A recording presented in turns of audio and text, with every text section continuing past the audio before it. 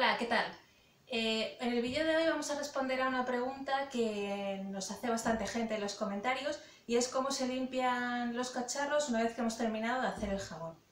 Eh, lo primero que tenemos que tener en cuenta que todos los restos que tenemos en los cacharros son un poco cáusticos, eh, tanto los restos de la cazuela en la que hemos mezclado el agua con la sosa como la batidora, este es el cacharro en el que hemos mezclado el aceite con la sosa y el agua, esto lo hemos usado para eh, echar el jabón y echarlo en los moldes. Entonces todo, todos los restos que tenemos en estos cacharros son un poquito cáusticos, por lo tanto es muy importante usar guantes para lavar todo este material. Eh, luego, eh, podemos hacerlo de dos maneras.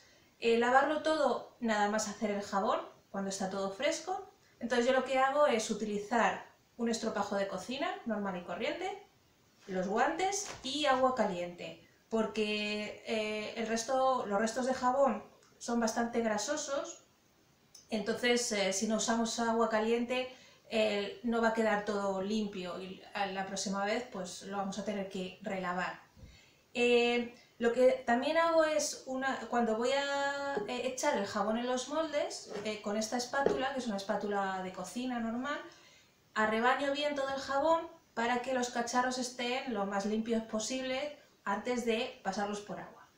Vale, eh, otra opción sería dejar que todos estos restos de jabón se sequen, o sea, lavarlo mañana, por ejemplo, todo esto estaría seco, entonces lo que podemos hacer es con la misma espátula que hemos utilizado para rebañar los cacharros, rascar todo, todos esos restos de jabón, rascarlo todo bien, esos restos tirarlos a la basura y luego igual con el estropajo y con agua caliente lavarlo bien y perfecto.